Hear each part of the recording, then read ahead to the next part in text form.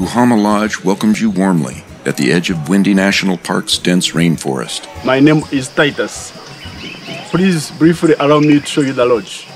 We have some cabins there. Behind me, there is the main building. In that, there is a lounge, the dining, and the gift shop. On the right, there is a massage room where you can relax. Please allow me show you the facilities which you find on the second floor of the main building. This is the lounge area, the well-stocked bar, the internet corner, as well as the charging area. We have got 10 cabins. They are doubles and twins. They all have flushing toilets and hot shower inside.